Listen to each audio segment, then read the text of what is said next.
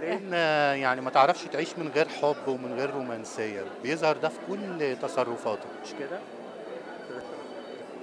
بما هنا إننا داخلين على عيد الحب يعني قرب فتقولي إيه بقى؟ ومين أكتر حد حريصة إن انت تقولي له بحبك؟ أكتر حد حريص أقول له بحبك يا بنتي جوجو بحبك يا دادا بموت فيكي بس حكاية الحب دي حاجة خاصة يعني بيني وبين نفسي. فأنا مش يعني عمرك ما تعرف عني حاجة مش جريئة في إعلان قصصي يعني وحواديتي وكده فالحب ضرورة وأساس ويا رب كده بيغسل يعني الحب بيغسل. فيا رب كده مزيد من الحب و happy Valentine's Day وكل عيد حب وأنتم بخير.